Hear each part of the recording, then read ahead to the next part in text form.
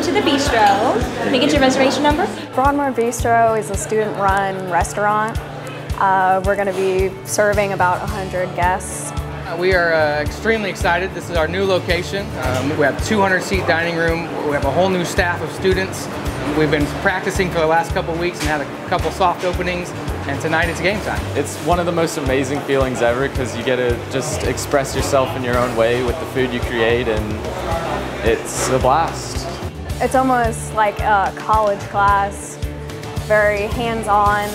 I think it's really fun. I think it's going to help a lot when we're out in the real world. I think that our purpose here is to expose our students to career-ready skills. So they're, they're leaving us at 16, 17, 18 years old. Having um, been with us for two years, they gain a thousand hours of restaurant experience. Yeah, it's, it's a really good feeling to have because I know I'm going to be able to walk out and go get a job somewhere and be successful in life.